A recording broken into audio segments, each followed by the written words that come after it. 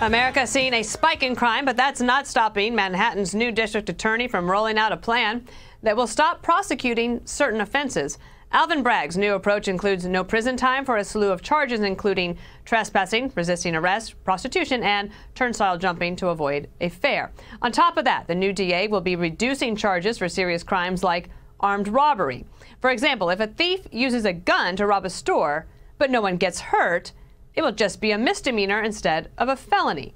Charges will also be slashed for stealing from stores and homes, as well as dealing drugs. Uh, Eric Shawn had a chance to talk to the new district attorney today. Let's have a listen to that.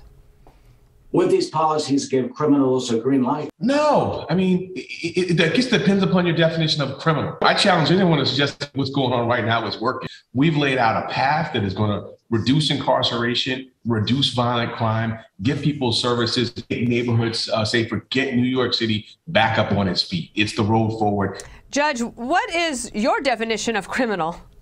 My definition of criminal and crime is everything that is identified in the New York State penal law, which has been voted on by the legislature. And I want to know who the hell this guy thinks he is. He was elected as a DA. The job of a DA is to enforce the law. It's not to amend it. It's not to write it. It's not to repeal it. It's to enforce it. This guy doesn't understand what his job is. And, and follow me on this.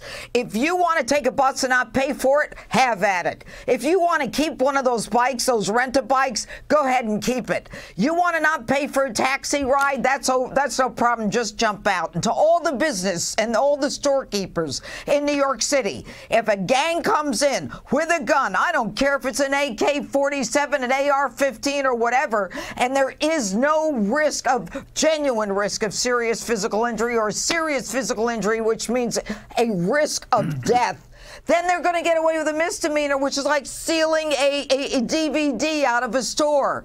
This man is looking to create lawlessness and anarchy in New York City. And let me tell you one more thing, guys, because I did this for 30 years.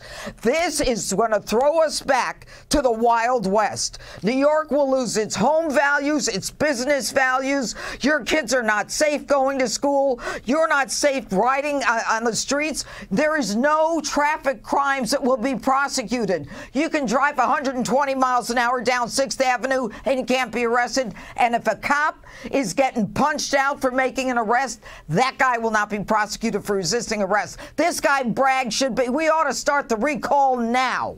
Channeling New Yorkers everywhere. Greg, give you the floor. Well, it's.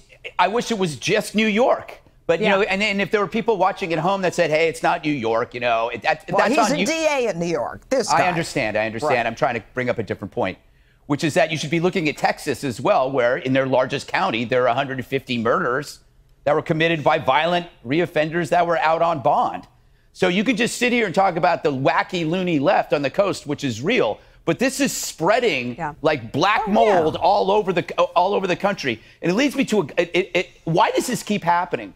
And I, it's interesting when you look at how the media and the Democrats pay attention to certain types of crime as opposed to others. Crime has now become a political variable. For nearly two years, we were told that there were no riots, right? There was no crime wave. There was no explosion in murder. It was mocked daily on CNN. But then January 6th happens, and suddenly CNN is pro cop for one day. For one freaking day, they were pro cop.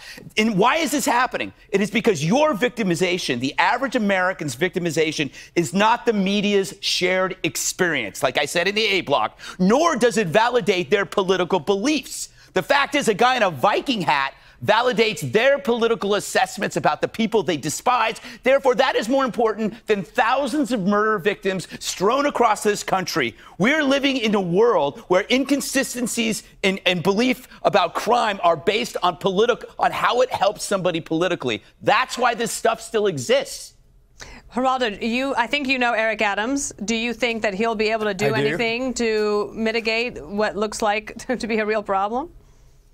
I certainly hope so, Dana. I think that uh, Alvin Bragg has not yet cleared any of these things with uh, Mayor Adams, so who, of course, was a former uh, crime busting police captain. So I, I personally do not believe this is going to really be the way Manhattan progresses. I started my legal career in that office. My daughter also worked in that office. My DA was Frank Hogan, a crime buster. He was he was famous for going after the, the real criminals.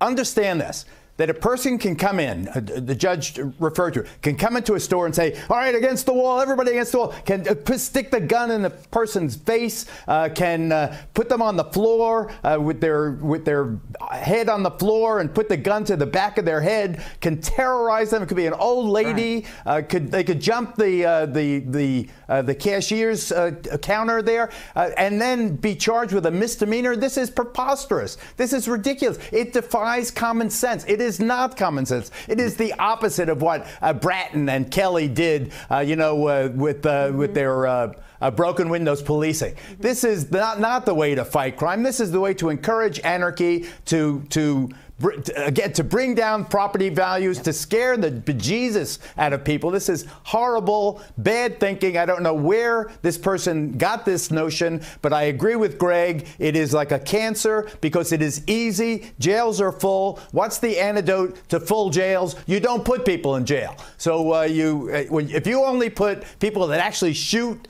victims in jail not the ones who menace them you're, you're on the road to road to hell Jesse, is Alvin Bragg um, New York's uh, Larry Krasner from Philadelphia? Yeah, he's Bill de Blasio reincarnated. I thought Bill de Blasio is long gone, but nope, he popped up in the body of this kook. Dana, let me paint a picture for you. Let's just say I'm a male prostitute in okay. Manhattan.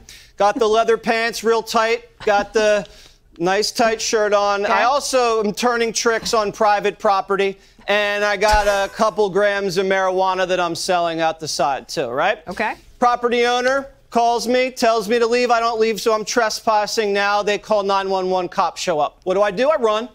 And I'm fast, and I'm faster than Sandra Smith, so this is a long foot pursuit, right? I'm weaving in and out of traffic, causing traffic chaos. I'm knocking old ladies over. I jump down to the subway, hop a turnstile. They finally tackle me. I resist. It's a huge problem. Cops are getting scraped up. It's a struggle. They cuff me, they book me, I'm out. And the DA is going to shelve every single beef right there. Five beefs I counted, shelve every single beef.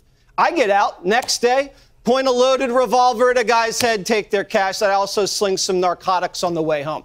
Misdemeanors. I'm out in a couple days. Maybe I'll do a week or two. Not only that, this memo he posted, this communist manifesto, basically, he goes, you know what? Even three days in jail could jeopardize someone's housing. Oh, really? Oh, so some sex offender gets to brutalize some teenager, and then they get booked, brought in. He doesn't want to keep them on pre-trial. He wants to let them walk right. before trial, so then he could just re-victimize some other teenager, some sexual predator. Uh, this guy's insane. He just cares more about emptying the prisons than protecting the community.